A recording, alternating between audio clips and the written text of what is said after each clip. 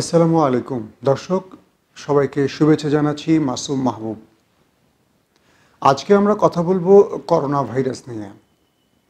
বর্তমান সময়ে এই করোনা ভাইরাস বিশ্ব স্বাস্থ্য সংস্থার সবচেয়ে আতঙ্কের একটা নাম। যে করোনা ভাইরাস চীন থেকে শুরু হয়েছে এবং পৃথিবীর বিভিন্ন দেশে ইতিমধ্যে ছড়িয়ে পড়েছে। আমরা জানি করোনা ভাইরাসে আক্রান্তের সংখ্যা দু হাজার আটশো চার জনের। তার মধ্যে প্রায় আশি জনের মৃত্যু হয়েছে। বিজ্ঞানীরা করোনা ভাইরাসের টিকা এবং প্রতিষেধক আবিষ্কারের চেষ্টা করছে। যেহেতু এই ভাইরাসটি নতুন, সেহেতু এখন পর্যন্ত করোনা ভাইরাসের কোনো টিকা কিংবা প্রতিষেধক আবিষ্কার হয়নি। ডাক্তাররা পরামর্শ দিয়েছেন এই ভাইরাস থেকে বাঁচার উপায় ঘন ঘন হাত ধোয়ার জন্য এবং সর্দি কাশি হলে হাত দিয়ে পরিষ্কার না করে কোনো রুমাল ব্যবহার করার জন্য।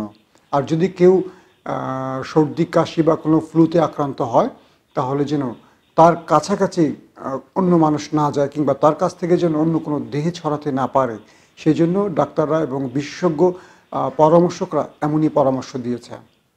আমরা করোনা ভাইরাসের উপর একটা প্রতিবেদন দেখে আসতে পারি। করোনা ভাইরাসটির আরেক নাম two zero one nine nCoV.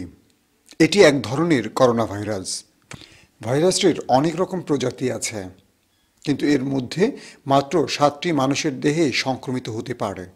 বিজ্ঞানীরা বলছেন, ভাইরাসটির হয়তো মানুষের দেহকোষের ভেতরে ইতিমধ্যে মিউটেট করছে, অর্থাৎ গঠন পরিবর্তন করে নতুন রূপ নিচ্ছে এবং সংখ্যা বৃদ্ধি করছে। ফলে এটি আরও বেশি বিপজ্জনক হয়ে উঠতে পারে। এই ভাইরাস মানুষের ফুসফুসে সংক্রমণ ঘটায় এবং শ্বাসতন্ত্রের মাধ্যমে এটি এক একজনের দেহ থেকে আরেকজনের দেহে ছড়ায়। সাধারণত ফ্লু বা ঠান্ডা লাগার মতো করেই এই ভাইরাস ছড়ায় হাসি কাশির মাধ্যমে। এখন পর্যন্ত আক্রান্তদের দু শতাংশ মারা গেছে, হয়তো আরও মৃত্যু হতে পারে। করোনা ভাইরাস সংক্রমণের প্রধান লক্ষণ হল শ্বাস নিতে কষ্ট হওয়া, জ্বর এবং কাশি। বিজ্ঞানীরা বলছেন, ভাইরাসটি শরীরে ঢোকার পর সংক্রমণের লক্ষণ দেখা দিতে পাঁচ থেকে ছয় দিন সময় লাগে। প্রথম লক্ষণ হচ্ছে জ্বর, তারপর দেখা দেয় শুকনো কাশি। এক সপ্তাহের মধ্যে শ্বাসকষ্ট দেখা দেয় এবং তখনই কোনো না কোনো রোগীকে হাসপাতালে ভর্তি হতে হয়। মধ্য চীনের উয়ান শহর থেকে এই রোগের সূচনা। একত্রিশ ডিসেম্বর এই শহরে নিউমোনিয়ার মতো একটি রোগ ছড়াতে দেখে চীনের কর্তৃপক্ষ। এবং তারা বিশ্ব স্বাস্থ্য সংস্থাকে সতর্ক করে।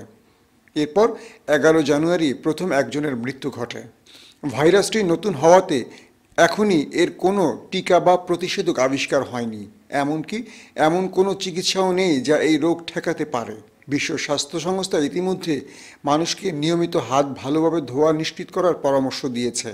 চীনে করোনা ভাইরাস আসার পর মালয়েশিয়া তার সবগুলো বিমান স্থল এবং নৌবন্দরে চেকপোস্ট বসিয়েছে। এই পর্যন্ত যে চারজন করোনা ভাইরাস আক্রান্ত রোগী পাওয়া গেছে, তাদের সবাই চীন থেকে আসা এবং ইমিগ্রেশনে তাদের ধরা হয়েছে। সাথে সাথে তাদের আলাদা করে চিকিৎসার ব্যবস্থা করা হয়েছে। বাংলাদেশের অনেক চাইনিজ কাজ করে এবং চীন বাংলাদেশের মধ্যে অনেকগুলো ফ্লাইট যাতায়াত করে। ভারত, মিয়ানমার হয়েও সড়কপথে চীনাদের মাধ্যমে এই ভাইরাস বাংলাদেশে ঢুকতে পারে। অনেক চীনা জাহাজ বন্দরে আসে, তাই নৌপথেও আসা অসম্ভব নয়। এখন পর্যন্ত অফিসিয়ালি দু হাজার চারজন করোনা ভাইরাসে আক্রান্ত হয়েছে। তার মধ্যে আশি জনের মৃত্যু নিশ্চিত হওয়া গেছে। মৃত্যুর সবগুলো ঘটনা চীনেই ঘটেছে। চীনের বাইরে হংকং ও থাইল্যান্ডে আটজন করে, তাইওয়ান যুক্তরাষ্ট্র ও অস্ট্রেলিয়ায় পাঁচজন করে, মালয়েশিয়া, জাপান, সিঙ্গাপুর ও দক্ষিণ কোরিয়ায় চারজন করে। ফ্রান্সে তিনজন, ভিয়েতনামে দুজন এবং নেপাল ও কানাডায় একজন করে করোনা ভাইরাস আক্রান্তকে শনাক্ত করা হয়েছে, যাদের সকলেই চীন থেকে এই রোগ বহন করে ওই দেশগুলিতে প্রবেশের সময় ধরা পড়েছে। বাংলাদেশ সরকারের উচিত বিদেশ থেকে যারা বাংলাদেশে প্রবেশ করবেন, তাদের প্রত্যেককে পরীক্ষা নিরীক্ষা করে প্রবেশ করানো। বাংলাদেশে ঢোকার প্রত্যেকটি প্রবেশ পথেই যেন তারা বিশেষজ্ঞ চিকিৎসক রাখেন, যাতে কোনোভাবেই বাংলাদেশে করোনা ভাইরাস প্রবেশ করতে না পারে। যদি একবার প্রবেশ করে, তবে সেক্ষেত্রে দেখা যাবে এটি এক দেহ থেকে অন্য দেহ খুব দ্রুত ছড়িয়ে পড়বে। করোনা ভাইরাসের জন্য হাত ধোয়ার পরিকল্পনা দেওয়ার আগে করোনা ভাইরাস যেন বাংলাদেশে প্রবেশ করতে না পারে, এটি সরকারকে নিশ্চিত করা উচিত। আপাতত প্রতিকার হিসেবে এই ভাইরাসটির বহনকারীদের সম্পূর্ণ এড়িয়ে চলতে বলছেন বিজ্ঞানীরা। ডাক্তারদের পরামর্শ, বারবার হাত ধোয়া এবং হাত দিয়ে নাক মুখ স্পর্শ না করা, ঘরের বাইরে গেলে মুখোশ পড়া। কারণ এখন পর্যন্ত করোনা ভাইরাসের কোনো প্রতিষেধক বা টিকা আবিষ্কার হয়নি। তাই প্রত্যেককে সতর্ক থাকার পরামর্শ দিয়েছেন বিশ্ব স্বাস্থ্য সংস্থা।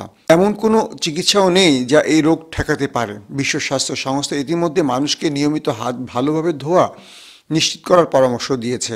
হাসি কাশির মাধ্যমে নাক মুখ ঢেকে রাখা এবং ঠান্ডা ফ্লু আক্রান্ত মানুষ থেকে দূরে থাকারও পরামর্শ দিয়েছে তারা। এশিয়ার বহু অংশের মানুষ সার্জিক্যাল মুখোশ পরা শুরু করেছে। Evacuate their uh, on Tuesday. দর্শক, আমরা জানি মালয়েশিয়াতে যদি কোনো রোগী হাসপাতালে ভর্তি হয় এবং তার দেহে ডেঙ্গুর মতো কোনো ভাইরাসের প্রমাণ পাওয়া যায়, সঙ্গে সঙ্গে ওই ব্যক্তির কর্মস্থল বা বাসা বাড়িতে সরকার পক্ষ থেকে একটা বিশাল বাহিনী পাঠিয়ে দেওয়া হয় মশা নিধনের জন্য। কিন্তু আমরা বাংলাদেশের ক্ষেত্রে আমরা অনেক পিছিয়ে আছি। করোনা ভাইরাস থেকে বাংলাদেশকে রক্ষায় সরকার কি ব্যবস্থা নিয়েছে আমরা জানি না। তবে পৃথিবীর বিভিন্ন দেশে চীনের নাগরিকদের সে দেশগুলোতে প্রবেশের ক্ষেত্রে কঠোর নজরদারি তৈরি করেছে এবং তারা প্রত্যেকটা চীনের নাগরিককে এয়ারপোর্টে পরীক্ষা নিরীক্ষা করে তবে ছাড়ছেন। আর যাদের করোনা ভাইরাস আক্রমণ বা করোনা ভাইরাস সংক্রমণ পাচ্ছেন তাদেরকে হাসপাতালে ভর্তি করছেন। বাংলাদেশের উচিত এই মুহূর্তে বাংলাদেশের সাথে চীনের যেহেতু সম্পর্ক ভালো ব্যবসায়িক সম্পর্ক থেকে শুরু করে সব রকম সম্পর্ক ভালো, বাংলাদেশ থেকে প্রতিদিন চীনে যাচ্ছে এবং চীন থেকে বাংলাদেশে অনেক নাগরিক দেশে প্রবেশ করছে। সেক্ষেত্রে বাংলাদেশের বিমানবন্দর স্থলবন্দর নৌ বন্দরগুলোতে আমার মনে হয় যে এই করোনা ভাইরাসের পরীক্ষার জন্য কঠিন নজরদারি রাখা উচিত। প্রত্যেকটা চীনের নাগরিককে বাংলাদেশে প্রবেশের ক্ষেত্রে করোনা ভাইরাসের সংক্রমণ আছে কিনা সেটা পরীক্ষা নিরীক্ষা করেই তবে দেশে প্রবেশ করার অনুমতি দেওয়া উচিত।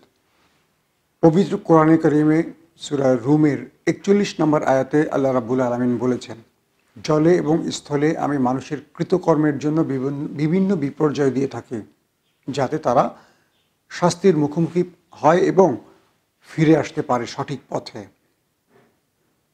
সুরা তাওবার একশো ছাব্বিশ নম্বর আয়াতে আল্লাহ বলেছেন, যে তারা কি দেখে না, প্রতি বছর আমি তাদেরকে দু একবার বিপর্যয়ের মধ্যে কিংবা বিপর্যয় ফেলি। যাতে তারা তওবা করে এবং ফিরে আসতে পারে। আল্লাহর এই দুটো বাণীর মধ্যেই আমরা খুঁজে পাই আমাদের প্রতিষেধক। আমরা যদি মনে করি যে আমরা এই রোগ, বালাই বা এই মহা মুসিবত কিংবা এইরকম গজব থেকে রক্ষা পেতে চাই, তবে আমাদেরকে ফিরে আসতে হবে সঠিক পথে। আমরা জানি চীনের উইঘুরে বহু মুসলমানকে নির্যাতন করেছে এই চীন সরকার। মুসলমানদের নামাজ এবং রোজার উপরে তারা প্রতিবন্ধকতা তৈরি করেছিল। আজকে সেই চীনই করোনা ভাইরাসের মতো একটি মহামারী আকার ধারণ করেছে। আজকে সেই চীনই করোনা ভাইরাস একটি মৃত্যু দূত হিসেবে প্রবেশ করেছে। ইতিমধ্যে দু হাজার আটশো জন এই করোনা ভাইরাসে আক্রান্ত হলেও তার মধ্যে আশি জনের মৃত্যু হয়েছে। বিশ্ব স্বাস্থ্য সংস্থা বলছে, এটি আরও ভয়াবহ আকার ধারণ করতে পারে। ইতিমধ্যে চীন থেকে পৃথিবীর অনেকগুলো দেশে প্রবেশ করেছে এই করোনা ভাইরাস। এখান থেকে বাঁচার উপায় কি? এখান থেকে বাঁচার উপায় আমাদেরকে আল্লাহর পথে ফিরে আসতে হবে। সঠিক পথে ফিরে যেতে হবে। যে মহান আল্লাহ আমাদেরকে এই পৃথিবীতে পাঠিয়েছেন কিছু নির্দিষ্ট ভালো কাজের জন্য, সেই কাজে আমাদের ফিরে যেতে হবে। দর্শক, এখানে শেষ করছি। আবার কথা হবে। আল্লাহ হাফেজ। প্রিয় দর্শক, আমাদের ভিডিও যদি আপনাদের ভালো লাগে, তবে সাবস্ক্রাইব করুন এবং বেল বাটনে একটা ক্লিক করুন। বাংলা মিরর আপনাদের চ্যানেল